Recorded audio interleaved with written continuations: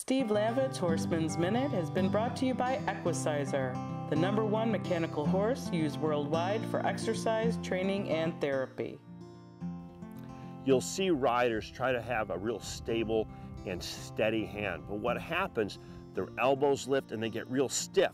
And then right here, I'm just sort of bumping that Equicizer right in the mouth because my hand is not giving.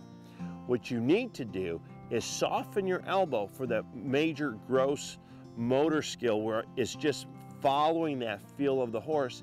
And then this allows you to use your fingertips for the finite movements. Remember to keep your elbows soft so they're giving with large movements of the horse and you maintain a steady contact.